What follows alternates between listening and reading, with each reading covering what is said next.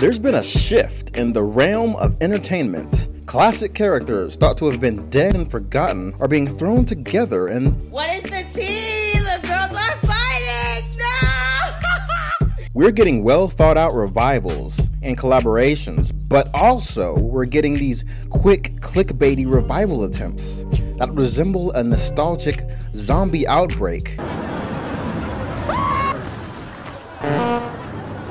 So it's starting to look like Courage the Cowardly Dog out here. All these weird, unbelievable things keep popping up out of nowhere. It seems that aging network studios like Nickelodeon and Cartoon Network are desperately trying to keep our attention. The ones who literally grew up watching them at the same time they were growing their channels, the millennials.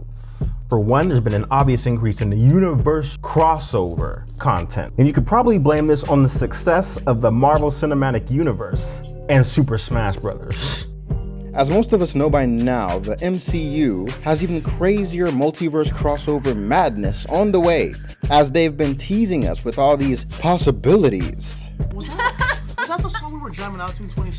And of course, Smash Bros. now has a fighting roster that no one would have believed five years ago. Stuff like this gets a lot of people talking, and Nickelodeon has swiftly joined this trend by putting out a video game resembling Smash Bros. called Nickelodeon All Stars Brawl.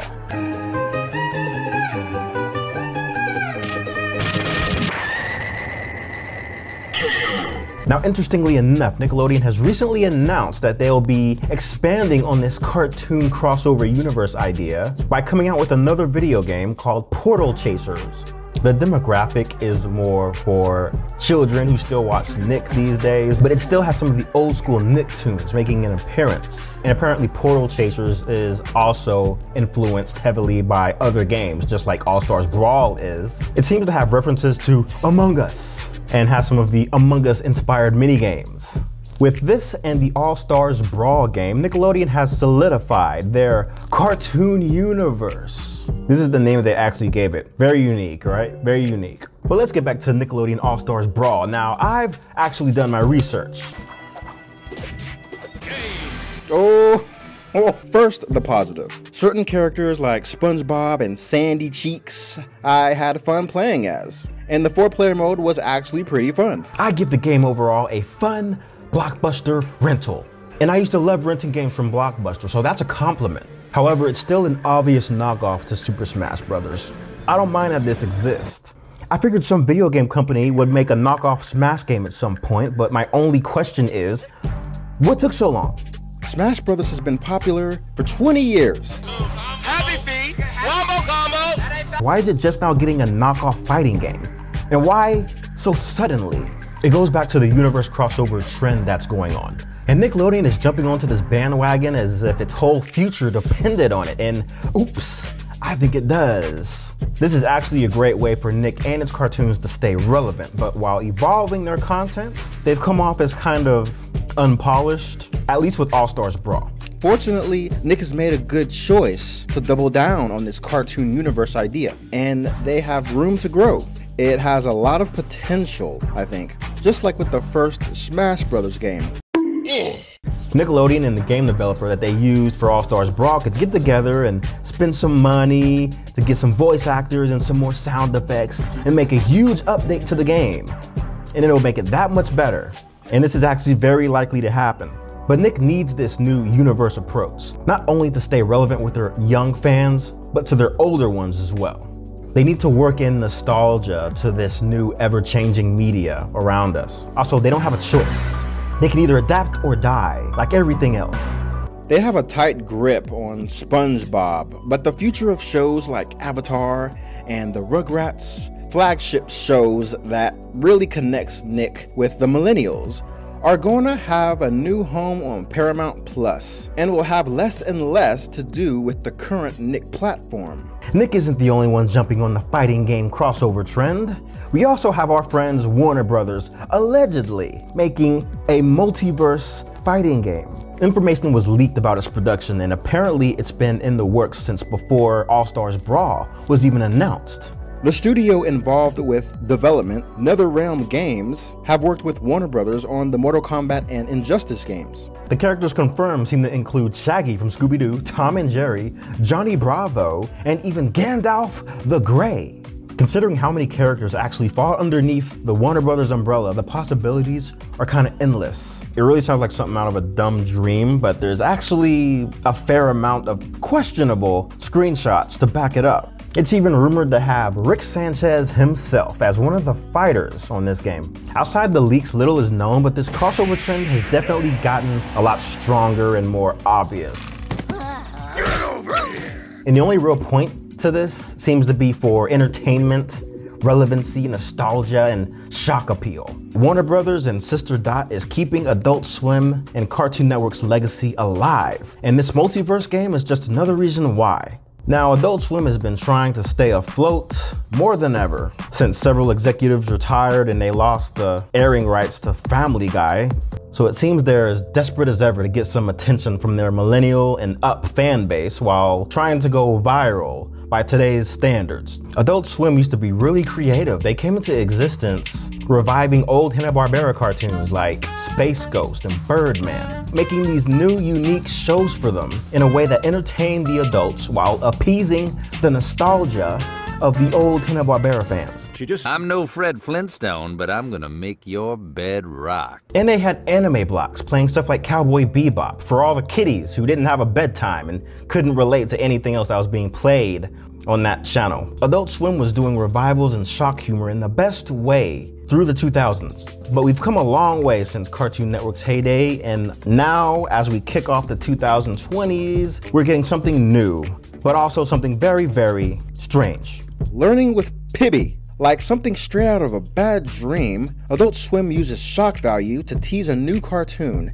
that they might expand on in the future. It features these corrupted, zombified versions of old cartoons that aired on Cartoon Network during its better days. They're kind of making their own cartoon universe crossover thing here, but unlike with Nickelodeon, it's not exactly kid friendly. There's a lot of on the nose symbolism here, it seems, like with the corruption of youth and innocence, but the meta ness it appears to have is pretty interesting too, as the main character is a children's cartoon in a dangerous adult cartoon world. But I'm still not a big fan of this decision Adult Swim made to get the attention of their old fans. Like they literally just decided to throw up Cartoon Network nostalgia at us in these empty cartoon shells. It's actually a pretty lazy way to revive characters and reach a wider audience. That's why I would call this Pibby thing zombie nostalgia. Nickelodeon also participates in zombie nostalgia, too, unfortunately. Only because lately, you see them throwing in these old 90s characters randomly out of context. Like, what the hell is Nigel Thornberry doing here? He doesn't even have a decent move set. Smashing, Jape.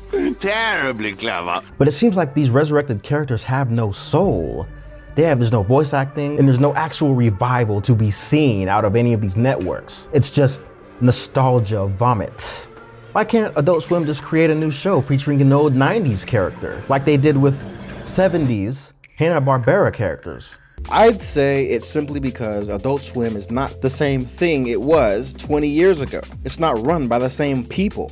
You can also kind of blame this whole younger generation, millennials and Gen Z. We grew up with the internet. Weird memes and viral videos, our minds have been messed up from all the things that we've seen, and we've just got numb to a lot of the craziness out here. It takes a lot to scare people and trend online these days. So I can't be surprised that Adult Swim would pull Pibby out of their ass just to get a response. Although the Pibby idea has some potential, I don't know if I can get behind something that was so obviously made for shock appeal and clickbait. You can't just vomit nostalgia at people and expect them to be on board with your idea. Nostalgia is not a substitute for an actual story. I don't think OG Adult Swim would approve of this. But at least we still have the Warner Brothers and HBO Max acting as the true successors to Cartoon Network and Adult Swim. So while the old networks are making strange and bold choices with their revival efforts, Newer streaming services like Netflix are making bold revivals as well. But they're doing it in a good way.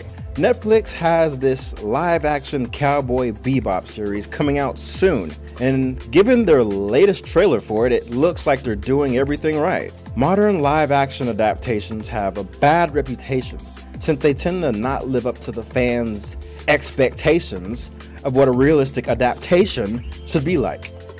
But it seems like the live action curse might be getting lifted with the help of this Bebop adaptation. There's also that Avatar series in development. But Netflix seems to be pretty confident with it since it hasn't already been canceled, since the Avatar creators themselves already left the project and started their own.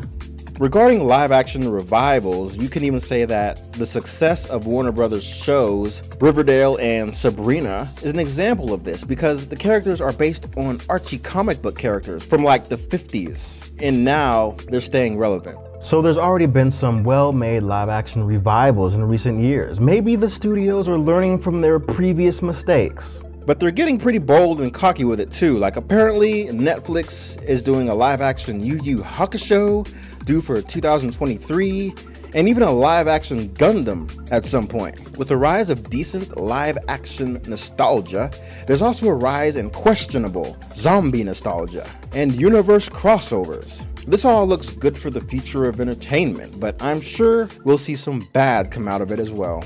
And at the end of the day, we can blame Smash Brothers, the MCU, our numbness for horror and shock, our short attention span, and even the fact that millennials are out here writing and directing things now. Our childhood friends Nick and Cartoon Network have been trying to adapt and grow with us, while Netflix has been trying to be our new BFF. And Warner Brothers has just been kind of watching everything and pointing and laughing. It's gonna be like the good, the bad, and the ugly out here, with Shaggy coming in with the ability to dodge bullets. Okay, well, hit me up if you want to play some Nintendo All Stars Brawl. I'm maining Sandy Cheeks, apparently. So come at me if you dare. Or better yet, just like and subscribe to my videos. Thanks.